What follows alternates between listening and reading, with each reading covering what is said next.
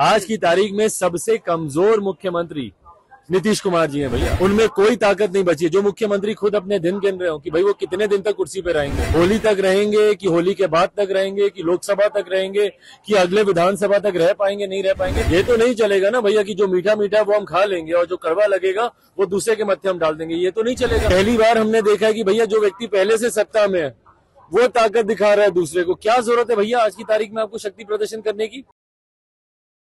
बिहार के मुख्यमंत्री नीतीश कुमार होली के बाद तेजस्वी को सत्ता सौंप देंगे, ये राष्ट्रीय जनता दल के कई नेताओं का बयान सामने आया है। आज सुबह भी राजद के एक नेता ने और एक विधायक ने बड़ा बयान दिया और कहा कि मुख्यमंत्री को अब कुर्सी सौंप देनी चाहिए। लेकिन इस बीच दिल्ली से आए चिराग पासवान का बड़ा बयान सामने आया है। चिराग पासवान ने कहा है कि मुख्यमंत्री कब तक रहेंगे, कब तक नहीं रहेंगे, इस बात की जानकारी शायद उनको भी नहीं है। मुख्यमंत्री होली के पहले ही कुर्सी छोड़े होली के बाद छोड़े या छह महीने बाद छोड़े, उनको छोड़ना है। तेजस्वी यादव लगातार दबाव बना रहे हैं और इसको लेकर अब विपक्षी दल भी मुख्यमंत्री पर दबाव बना रहे हैं। स्पष्ट तौर पे सभी दलों का मानना है कि अगर नीतीश कुमार को कमज़ोर करके, नीतीश कुमार को अगर बिहार की राजनीति से अलग कर दिया जाए तो कहीं ना कहीं राजद और भाजपा के बीच आमने सामने की लड़ाई होगी। और ऐसे में भारतीय जनता पार्टी को एक बड़ा फ़ायदा होगा। मुख्यमंत्री नीतीश कुमार को लेकर चिराग पासवान पहले भी कई बार बयान दे चुके हैं और एक बार फिर से उन्होंने स्पष्ट किया है कि सीएम नीतीश होली के बाद कुर्सी छोड़ देंगे या कब छोड़ेंगे इस बात की जानकारी उनको भी नहीं है और अब उन्हें छोड़ ही देना चाहिए।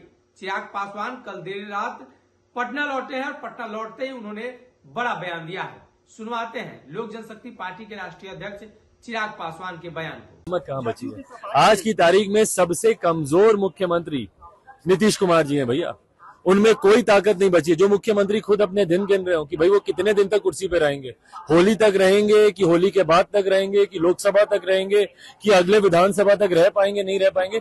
जो मुख्यमंत्री अपने खुद के दिन गिन रहे हो वो कहाँ से किसी से सवाल पूछ? केजरीवाल भी इसको गलत बताया है कहा कि ये तरह के बयान नहीं होने चाहिए। हाँ। तो भाई सफ़ाई क्या आप लोग साथ में ही है ना गठबंधन में? ये तो नहीं चलेगा ना भैया कि जो मीठा मीठा वो हम खा लेंगे और जो कड़वा लगेगा वो दूसरे के मत्थे हम डाल देंगे। ये तो नहीं चलेगा।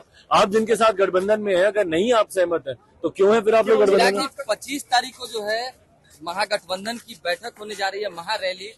कैसे देखते हैं? क्योंकि तैयारी कहा जा रहा है कि भाई जिनको इनको ताकत दिखानी है उनको फ़र्क ही नहीं पड़ता इनकी रैली से।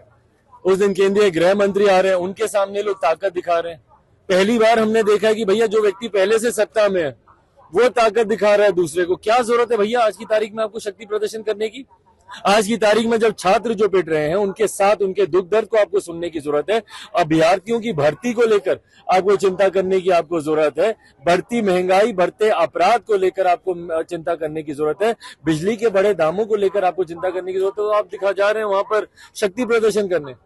भाई आप खुद सत्ता में है, भले जोड़ तोड़ से हो। भले जनादेश का अपमान कर कर आप लोग सत्ता में हो पर आप लोग आज की तारीख में सत्ता में है ना? तो ये ज़िम्मेदारी आप लोग की बनती है कि आप जन समस्याओं का आप समाधान करें ना कि अपना शक्ति प्रदर्शन करें वो भी केंद्रीय गृह मंत्री को दिखाने के लिए अंतिम सवाल पच्चीस तारीख को अमित शाह भी आ रहे हैं। आप शामिल होंगे उनके कार्यक्रम में? भाई वो उनका अपना कार्यक्रम है। अगर ये वीडियो पसंद आई और वह बिहार के राजनीति और बिहारियत से सरोकार रखेनी तो सब्सक्राइब बटन दबा के चैनल के सब्सक्राइब कर ली। ओजे एगो घंटी बा। ओकरा बटन दबा देला से कुल सटीक और मारक खबर रुआ मुफ़्त में मिल जाए अगर रुआ पत्रकारिता के हमनी के नया प्रयोग में सहयोग कर चाहतनी तो ज्वाइन बटन दबा दी। पेटीएम नंबर नोट कर ली nine three eight six eight one six seven double zero. धन्यवाद।